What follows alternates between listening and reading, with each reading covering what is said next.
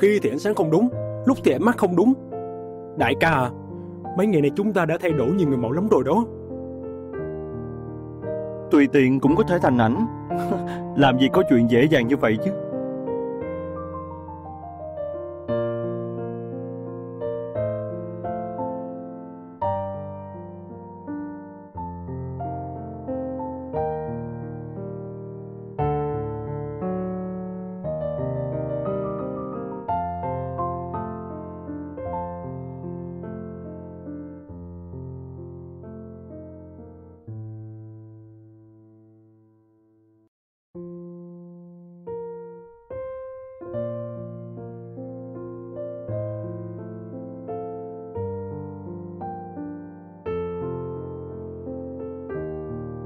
Anh nên nhớ đến em từ sớm mới phải.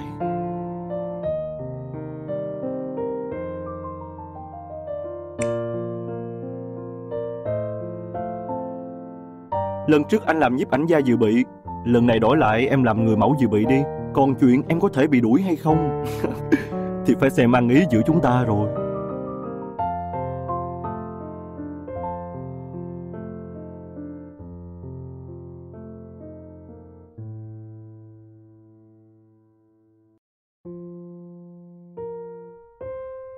Anh từng nói rồi, người cần chuẩn bị luôn là người cầm máy ảnh.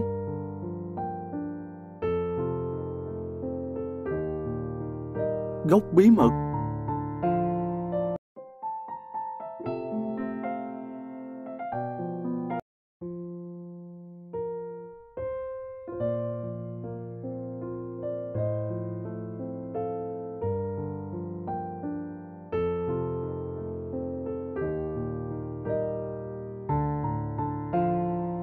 Đến đây nào, bối cảnh đã sắp xếp xong rồi, chỉ thiếu mỗi em thôi.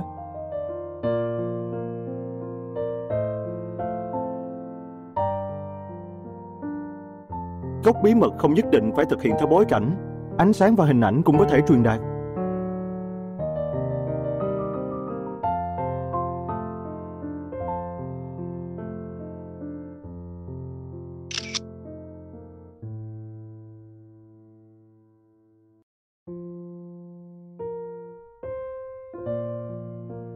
Rất tốt.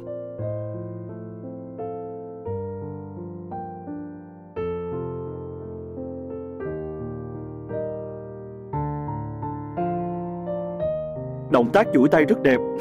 Mong tha thứ cho chút mánh khóe của tôi.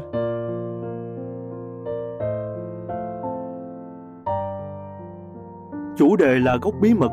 Em có thể tưởng tượng rằng mình đang ở một nơi bí mật, đồng thời còn nhìn trộm thế giới bên ngoài. Ờ, áp lực, đề phòng, khát vọng đều có thể là cảm xúc của em.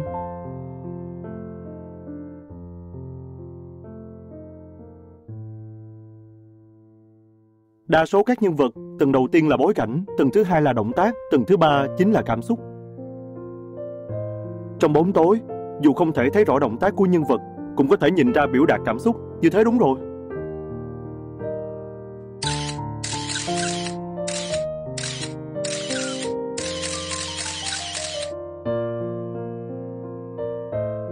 Ok, xong việc.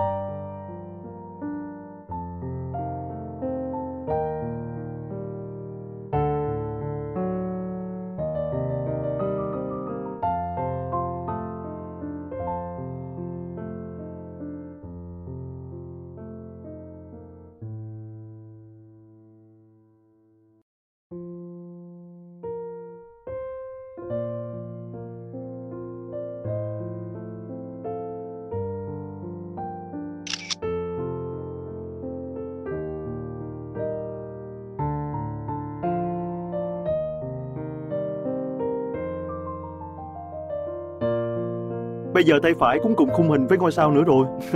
Trước giờ anh không nặng bên này nhẹ bên kia.